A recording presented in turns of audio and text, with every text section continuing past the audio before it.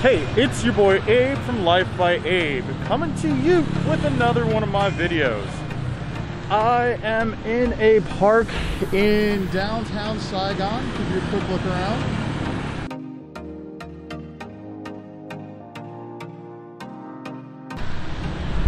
And uh, I'm here and I want to talk to you, as I'm almost tripping over a hose, uh, I want to talk to you a little bit about why I decided to go to Japan as my first destination instead of uh, any place else. I'll tell you that story. So let's get right into that. Well, back when I decided that it was time for me to leave the United States to travel and, and live abroad, I uh, was frustrated. I was upset. I was also broke. I didn't have a lot of money. I wasn't making decent money. I was working like four different jobs and I wanted out. So, in a fit of frustration, um, I left, called in sick to my Fortune 500 company job that I was working at, and I decided that I was going to sit down and spend the rest of the day applying for jobs. So I, you know, I actually I was at work. I left.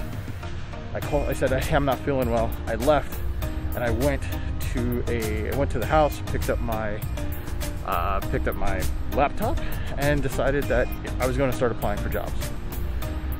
So I started applying, and I found this company on the internet. Uh, it was a teaching job, and uh, basically, what I had what they needed already.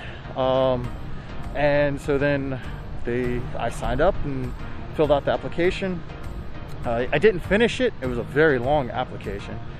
I didn't finish it in time, but when I did finally uh, finish it, actually no, not even. a few days later, they called me and said, "Hey, we like what we see so far. Can you finish the application so we can set up an interview?" I was like, "Cool, no problem. I'll do that." So I finished up the application we set up an interview. I drove up to Long Beach and uh, had an interview. Uh, passed the interview. They said, "Cool, we'll uh, we'll call you and let you know what the next steps." So I did that, and I that's how I ended up in Japan. Um, why did I accept that?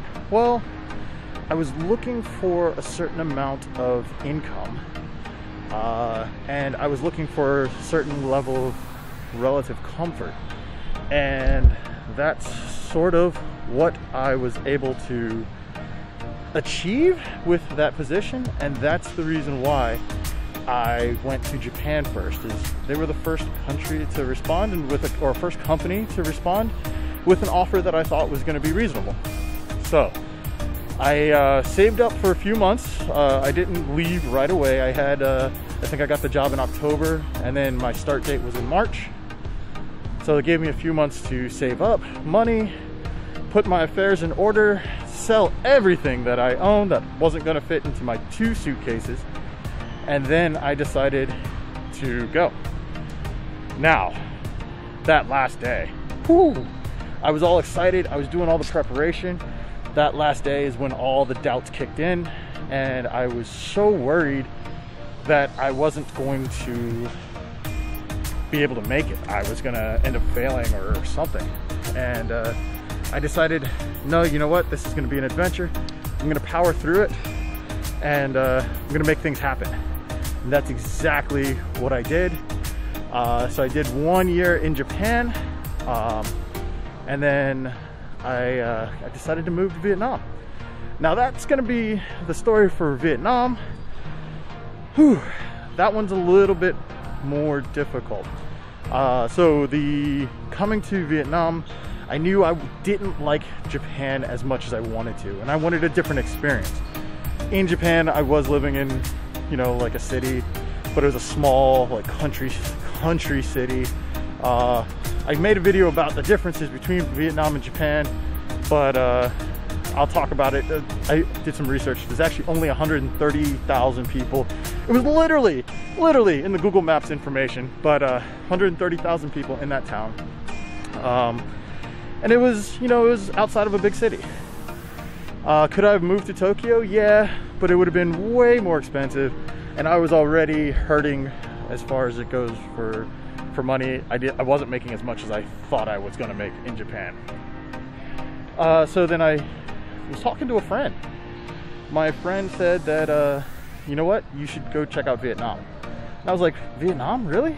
Like, what is there about Vietnam? I'm gonna hang out here in the shade for a little bit, so I'm gonna be a little darker than normal. Uh, so I said, hey, sell me Vietnam. She told me, you've got great food, it's a metropolis, there's always something going on, and uh, and just like it's an international hub, it's an international city, and the cost of living is relatively cheap. So I was like, you know what? I'll give it a shot. I had already had offers for China at that point. I'd already had offers for Taiwan, but I wasn't excited about them.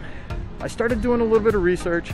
There's one one video in particular, and I'll see if I can uh, throw in a clip or something or whatever. But it was uh, this guy. His name's Erwan Erwan Heussaff or Hussein or something. Uh, he's a Filipino, French Filipino guy who goes around cooking and, and traveling and doing everything. And he did a piece on Saigon, basically like what he would do in 48 hours in Saigon. It blew my mind, made me want to come here even more started doing more research, wanted to see more and more of, of Vietnam. That's how I ended up here. Uh, I was torn. I did have an offer in Taiwan, a solid offer, uh, but I wasn't super excited. Like it, it, it was mentally, I was like, mentally, Taiwan's the place. I'll make more money. Uh, I'll probably have a better lifestyle. At least that's what I thought. Um, I haven't been to Taiwan. I don't know. I'm not. I'm not trying to. I'm not trying to crap on Taiwan. I'm just saying, for what I was looking for, Vietnam, Saigon has clicked, ticked that box. Just Ho Chi Minh City has what I'm looking for, and that's why it's almost three years, and I'm three years later, and I'm still here. I'm still here, doing things, living my life, and I don't really see myself leaving anytime soon. Uh, so that goes into another question: When are you coming home? I don't know the answer to that. I don't think I am coming home. So, if uh, I don't think I'm coming home to move, I'll come home to visit. I'll do that soon. Things are opening up here. As you can tell, we're out.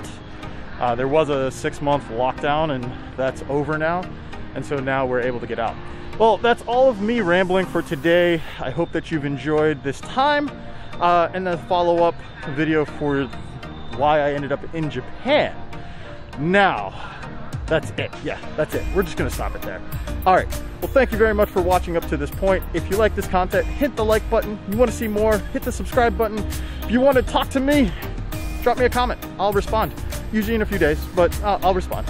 All right. Until the next time I see you, peace.